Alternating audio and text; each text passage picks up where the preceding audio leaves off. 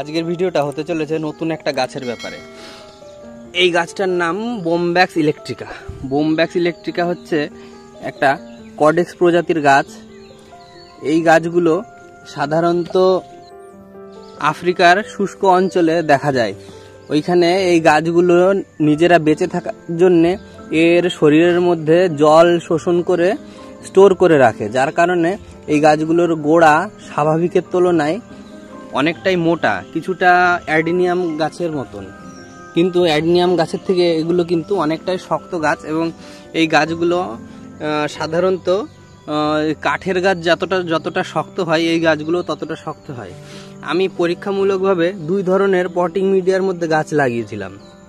একটা হচ্ছে বালি গোবর সার মিশিয়ে পটিং মিডিয়া তৈরি করে এবং অন্যটা হচ্ছে সিন্ডার আর গোবর সার দিয়ে। তো সিন্ডার আর গোবর সারে পটিং মিডিয়াতে লাগানোর কারণে দেখুন এই গাছ দুটো, এই গাছ দুটো সিন্ডার আর গোবর সারে লাগানো হয়েছে, এই গাছ দুটো অনেকটাই হেলদি এবং অনেকটাই মোটা দেখা যাচ্ছে।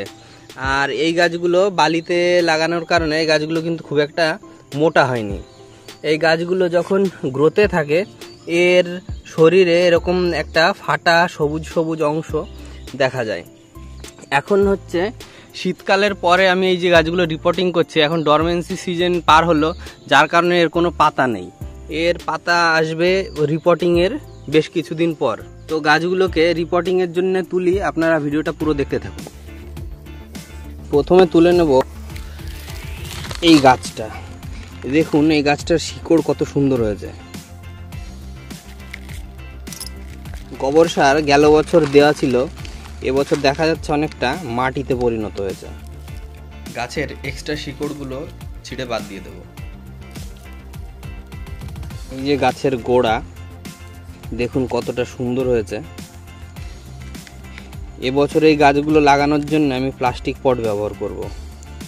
কারণ আমার অনেক গাছ জল কম দেওয়া পড়ে কম যত্ন পড়ে যার কারণে মাটির টবে লাগানো হলে জলটা খুব তাড়াতাড়ি টেনে যায়।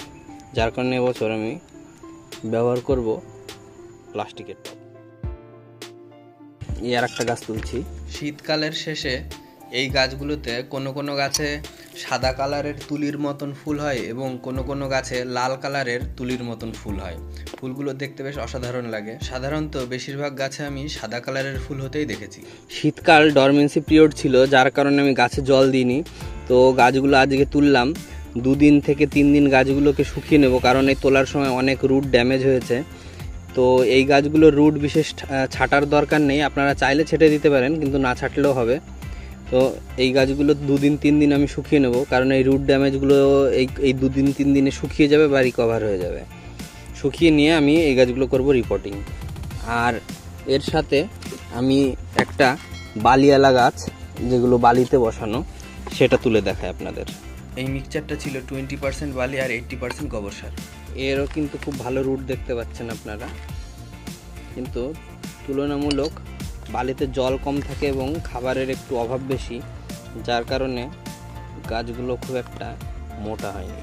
এই গাছগুলো আপনারা পুরো রোদালা জায়গাতে রাখবেন তাহলে এই গাছগুলো খুব ভালো থাকবে। এই গাছগুলো খুব রোদ পছন্দ করে এবং এই গাছগুলো পলি হাউস বা হচ্ছে সেমি শেডের মধ্যে রাখলে পরে এই গাছের কিন্তু গ্রোথ ভালো হবে না এবং এই গাছগুলো লম্বা হয়ে যাবে। এই যে মাটি, বালির গাছের রুট আর এই যে হচ্ছে মাটির গাছের রুট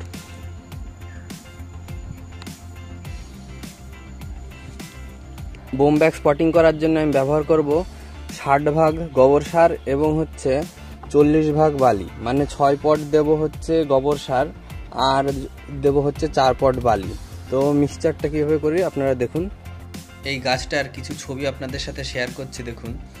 এই গাছটা যদি না কেটে নর্মালভাবে রাখা হয়, তাহলে এরকম লম্বা হয় এবং ঠিকঠাকভাবে প্রুনিং করে যদি আপনি মেনটেন করে রাখতে পারেন, তাহলে এই গাছটা দিয়ে এরকম সুন্দর একটা বনসাই বানানো সম্ভব।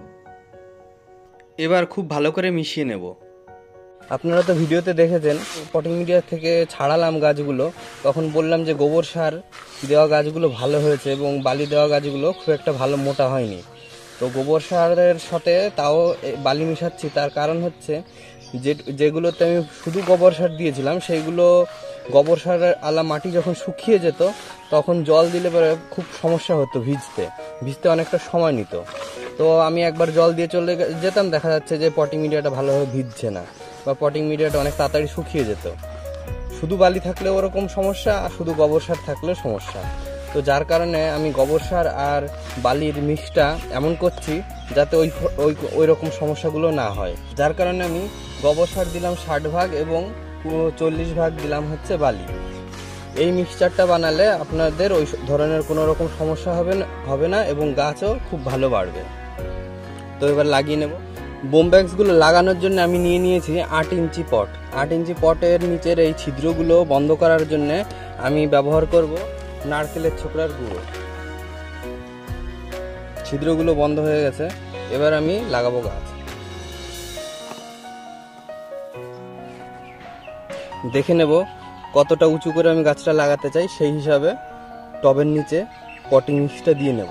কিছুটা সয়েল দিয়ে দিলে গাছটা বসাতে সুবিধা হবে এবং গাছটা মাঝখান সোজায় বসাতে হবে যাতে গাছটা যখন সাইডে গ্রোথ নেবে মাঝখানে বসানো থাকলে গাছটা খুব ভালোভাবে বাড়তে পারবে এবং পটের মাঝখানে লাগানো থাকলে গাছটা অনেক সুন্দর দেখা যাবে। পটিং রেডি ভিডিওটা পুরো দেখার জন্য অনেক অনেক ধন্যবাদ। এর পরের ভিডিওতে আমি কথা বলব এই গাছটার প্রুনিং নিয়ে এবং এই গাছটার যত্ন নিয়ে। ভিডিওটি ভালো লাগলে আমার চ্যানেলটা সাবস্ক্রাইব করুন এবং ভিডিও শেয়ার করুন লাইক করুন। আর আমাকে সাপোর্ট করুন। ওই ভালো থাকুন সুস্থ থাকুন। দেখা হচ্ছে নেক্সট ভিডিওতে টাটা।